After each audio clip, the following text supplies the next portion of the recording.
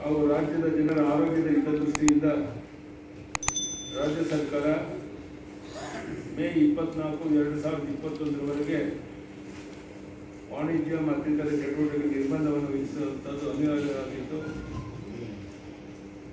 ಈ ನಿರ್ಬಂಧನೆಗಳಿಂದ ಸಾಮಾಜಿಕ ಮತ್ತು ಆರ್ಥಿಕ ಪರಿಣಾಮಗಳನ್ನು ಕಡಿಮೆಗೊಳಿಸಲು ಮತ್ತು ಸಾರ್ವಜನಿಕರಿಗೆ ದೈನಂದಿನ ಅರ್ಥಗತಿಗಳಿಗಾಗಿ ಕೃಷಿ ಸರಕು ಸಾಗಾಣಿಕೆ ಅಗತ್ಯ ಸೇವೆ ಕಟ್ಟಡ ಕಾಮಗಾರಿಗಳು, ಹೋಟೆಲ್ ಉದ್ಯಮ ಡೆಲಿವರಿ ಮಾತ್ರ ಇ ಕಾಮರ್ಸ್ ಮನೆ ಬಾಗಿಲಿಗೆ ತರಕಾರಿ ಮತ್ತು ಹಣ್ಣುಗಳನ್ನು ತಲುಪಿಸುವ ವ್ಯವಸ್ಥೆ, ಅಗತ್ಯ ಸೇವೆಗಾಗಿ ಆಟೋ, ರಿಕ್ಷಾ ಮತ್ತು ಟ್ಯಾಕ್ಸಿ ಸೇವೆ ಮುಂತಾದವುಗಳ ಅವಕಾಶ ಕಲ್ಪಿಸಲಾಗಿದೆ.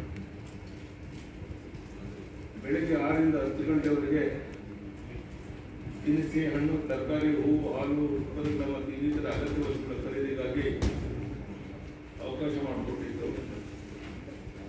ಕೊರೋನಾ ಸೃಷ್ಟಿಸಿದ ಬಿಕ್ಕಟ್ಟಿನಿಂದಾಗಿ ಅನಿವಾರ್ಯವಾಗಿ ವಾಣಿಜ್ಯ ಚಟುವಟಿಕೆ ನಿರ್ಬಂಧ ವಿಧಿಸಿದ್ದು, ಇದರಿಂದಾಗಿ ಜನರು ಆಹಾರವಿಲ್ಲದೆ ಸಂಕಟಕ್ಕೆ ಸಿಲುಕಬಾರದೆಂದು ಸರ್ಕಾರ ಈ ಕೆಳಕಂಡ ಜನ ನೆರವಿಗೆ ಧಾವಿಸಿದೆ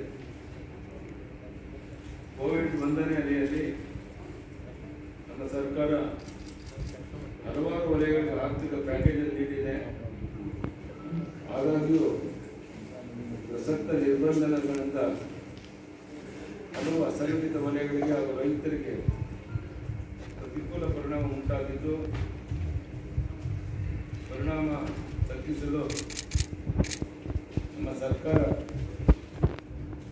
ಈ ಕೆಳಗಿನ ಸಹಾಯ ಘೋಷಣೆ ಮಾಡಿದೆ. ಸುಮಾರು ಸಾವಿರದ ಇನ್ನೂರ ಐವತ್ತು ಕೋಟಿಗೂ ಹೆಚ್ಚು ಒಂದು ಹೊಸ ಕಾರ್ಯಕ್ರಮವನ್ನು ಮಾಡೋಕ್ಕೆ ತೀರ್ಮಾನ ಮಾಡಿದ್ದೇವೆ. ಹೂವು ಬೆಳೆಗಾರರಿಗೆ ಪ್ರತಿ ಹೆಕ್ಟೇರ್ ಹೂವು ಹಾನಿಗೆ ಹತ್ತು ಸಾವಿರದಂತೆ ಸಹಾಯ ನೀಡುತ್ತೇವೆ ಸುಮಾರು ಇಪ್ಪತ್ತು ಸಾವಿರ ಜನ ರೈತರಿಗೆ ಇದರಿಂದ ಸಹಕಾರಿಯಾಗಲಿದೆ ಹನ್ನೆರಡು ಪಾಯಿಂಟ್ ಏಳು ಮೂರು ಕೋಟಿ ಅದು ಖರ್ಚಾಗಿದೆ ಹಣ್ಣು ಮತ್ತು ತರಕಾರಿ ಬೆಳೆಗಾರರಿಗೆ ಉಂಟಾಗಿರುವ ನಷ್ಟಕ್ಕೆ ಕನಿಷ್ಠ ಒಂದು ಹೆಕ್ಟೇರ್ಗೆ ಮಿತಿಗೊಳಿಸಿ ಪ್ರತಿ ಹೆಕ್ಟೇರ್ಗೆ ಹತ್ತು ಸಾವಿರದಂತ ಸಹಾಯ ಒದಗಿಸಲಾಗುವುದು. ಇದರಿಂದ ಸುಮಾರು ಅರವತ್ತೊಂಬತ್ತರಿಂದ ಎಪ್ಪತ್ತು ಸಾವಿರ ಜನಕ್ಕೆ ಅನುಕೂಲ ಆಗುತ್ತೆ. ಎಪ್ಪತ್ತು ಕೋಟಿ ಖರ್ಚಾಗುತ್ತೆ. ಆಟೋ ಮತ್ತು ಟ್ಯಾಕ್ಸಿ ಮತ್ತು ಮ್ಯಾಕ್ಸಿ ಕ್ಯಾಬ್ ಚಾಲಕರಿಗೆ ಲೈಸೆನ್ಸ್ ಹೊಂದಿದ ಹಾಗೂ ನೋಂದಣಿ ಮಾಡಿಸಿದ ಪ್ರತಿಯೊಬ್ಬ ಚಾಲಕರಿಗೆ ಮೂರು ಸಾವಿರ ರೂಪಾಯಿನಂತೆ ಕೊಡೋದಕ್ಕೆ ತೀರ್ಮಾನ ಮಾಡಿದ್ದೇವೆ. ಸುಮಾರು ಅರವತ್ಮೂರರಿಂದ ಅರವತ್ತೈದು ಕೋಟಿ ಖರ್ಚಾಗುತ್ತೆ ಇದಕ್ಕೆ. ಕಟ್ಟಡ ಕಾರ್ಮಿಕರಿಗೆ ತಲಾ ಮೂರು ಸಾವಿರ ರೂಪಾಯಿನಂತೆ ಕರ್ನಾಟಕ ಕಟ್ಟಡ ಮತ್ತು ಇತರೆ ನಿರ್ಮಾಣ ಕಾರ್ಮಿಕರ ಕಲ್ಯಾಣ ಮಂಡಳಿಯಲ್ಲಿ ನೋಂದಣಿ ಮಾಡಿದ ಕಾರ್ಮಿಕರಿಗೆ ಕೂಡ ತೀರ್ಮಾನ ಮಾಡಿದ್ದೇವೆ. ಇದು ಸುಮಾರು ನಾನ್ನೂರ ತೊಂಬತ್ನಾಲ್ಕು ಕೋಟಿಗೂ ಹೆಚ್ಚು ಹಣ ಖರ್ಚಾಗುತ್ತೆ. ಅಸಂಘಟಿತ ಕಾರ್ಮಿಕರಿಗೆ ತಲಾ ಎರಡು ಸಾವಿರದಂತೆ. ಕ್ಷೌರಿಕರು ಅಗಸರು, ಟೈಲರ್ಗಳು ಅಮಾನಿಗಳು ಚಿಂದಿ ಆಯುವರು, ಕುಂಬಾರರು, ಬಟ್ಟೆ ಕಾರ್ಮಿಕರು, ಅಕ್ಕಸಾರಿಗಳು, ಮೆಕ್ಯಾನಿಕ್ಗಳು, ಕಮ್ಮಾರರು, ಗೃಹ ಕಾರ್ಮಿಕರು, ಚಮ್ಮಾರರು, ಸುಮಾರು ಮೂರು ಲಕ್ಷದ ಐದು ಸಾವಿರ ಜನಕ್ಕೆ ಸುಮಾರು ಅರವತ್ತೊಂದು ಕೋಟಿ ಇದಕ್ಕೆ ಖರ್ಚು ಮಾಡೋಕ್ಕೆ ತೀರ್ಮಾನ ಮಾಡಿದ್ದೇವೆ. ರಸ್ತೆ ಬದಿಯಲ್ಲಿ ವ್ಯಾಪಾರ ಮಾಡುವಂಥವ್ರಿಗೆ ಅವರು ತೊಂದರೆಯಲ್ಲಿದ್ದಾರೆ ಅನ್ನೋ ಕಾರಣಕ್ಕೋಸ್ಕರ ಸುಮಾರು ಎರಡು ಸಾವಿರ ರೂಪಾಯಿನ ಎರಡು ಲಕ್ಷದ ಇಪ್ಪತ್ತು ಸಾವಿರ ಜನಕ್ಕೆ ಸುಮಾರು ನಲವತ್ತೈದು ಕೋಟಿ ರೂಪಾಯಿ ಅಷ್ಟು ಖರ್ಚಾಗೋಕ್ಕೆ ಆಗುತ್ತಿದೆ ಅದನ್ನು ಮಾಡಿಕೊಟ್ಟಿದೆ. ಕಲಾವಿದರು ಕಲಾ ತಂಡಗಳಿಗೆ ತಲಾ ಮೂರು ಸಾವಿರ ರೂಪಾಯಿನಂತೆ ಒಟ್ಟು ಫಲಾನುಭವಿಗಳು ಸುಮಾರು ಹದಿನಾರು ಸಾವಿರ ನೂರು ಜನ ಆಗ್ತಾರೆ.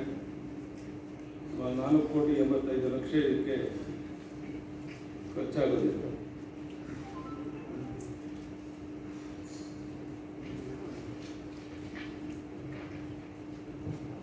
ರೈತರು ಮತ್ತು ಸ್ವಸಹಾಯ ಸಂಘಗಳು ಪ್ರಾಥಮಿಕ ಕೃಷಿ ಪತ್ತಿನ ಸಹಕಾರ ಸಂಘಗಳು ಮತ್ತು ಭೂ ಅಭಿವೃದ್ಧಿ ಬ್ಯಾಂಕ್ಗಳಿಂದ ಪಡೆದಿರುವ ಸಣ್ಣ ಮತ್ತು ಮಧ್ಯಮ ದೀರ್ಘಾವಧಿಯ ಸಾಲಗಳ ಮರುಪಾವತಿ ದಿನಾಂಕ ಒಂದು ಐದು ಎರಡು ಸಾವಿರದ ಇಪ್ಪತ್ತರಿಂದ ಮರುಪಾವತಿಸಬೇಕಾದ ಕಂತುಗಳನ್ನು ದಿನಾಂಕ ಮೂವತ್ತೊಂದು ಏಳು ಎರಡು ಸಾವಿರದ ಇಪ್ಪತ್ತೊಂದರವರೆಗೂ ವಿಸ್ತರಿಸಲಾಗಿದೆ.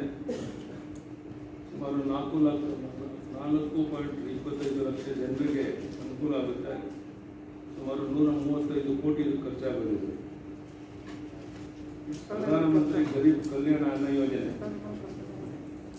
ಕೇಂದ್ರ ಸರ್ಕಾರದ ಪ್ರಧಾನಮಂತ್ರಿ ಗರೀಬ್ ಕಲ್ಯಾಣ ಅನ್ನ ಯೋಜನೆಯಡಿ ಮೇ ಮತ್ತು ಜೂನ್ ತಿಂಗಳಿಗೆ ಬಿಪಿಎಲ್ ಮತ್ತು ಅಂತ್ಯೋದಯ ಕಾರ್ಡ್ ಹೊಂದಿರುವವರಿಗೆ ಪ್ರತಿ ಫಲಾನುಭವಿಗೆ ಪ್ರತಿ ತಿಂಗಳಿಗೆ ಐದು ಅಕ್ಕಿಯನ್ನು ಉಚಿತವಾಗಿ ನೀಡಲಾಗುತ್ತೆ. ಇದಲ್ಲದೆ ರಾಜ್ಯದಲ್ಲಿ ಹೆಚ್ಚುವರಿಯಾಗಿ ಸುಮಾರು ಮೂವತ್ತು ಲಕ್ಷ ಫಲಾನುಭವಿಗಳಿಗೆ ಯೋಜನೆಯನ್ನು ನೀಡಲಾಗಿದ್ದು, ಇದಕ್ಕಾಗಿ ರಾಜ್ಯ ಸರ್ಕಾರದ ವತಿಯಿಂದ ನೂರ ಎಂಬತ್ತು ಕೋಟಿ ಖರ್ಚು ಮಾಡ್ತಾ ಇದ್ದಾರೆ.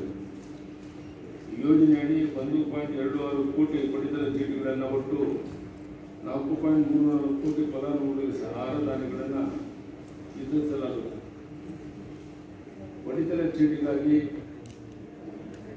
ಅರ್ಜಿ ಸಲ್ಲಿಸಿರುವ ಜನರಿಗೆ ಪಡಿತತಿ ಮಾಯಾನ ಯುಪಿಎಲ್ ಅರ್ಜಿದಾರರಿಗೆ ಉಚಿತವಾದ ಹತ್ತು ಕೆಜಿ ಆಹಾರ ಧಾನ್ಯ ಎಪಿಎಲ್ ಅರ್ಜಿದಾರರಿಗೆ ಪ್ರತಿ ಕೆಜಿ ಹದಿನೈದು ಒಂದು ಸೊನ್ನೆ ಲಕ್ಷ ಅರ್ಜಿದಾರರಿಗೆ ಸಹಾಯವಾಗುತ್ತೆ ಸುಮಾರು ಇಪ್ಪತ್ತೈದು ಕೋಟಿ ಇದು ಖರ್ಚಾಗಿದೆ.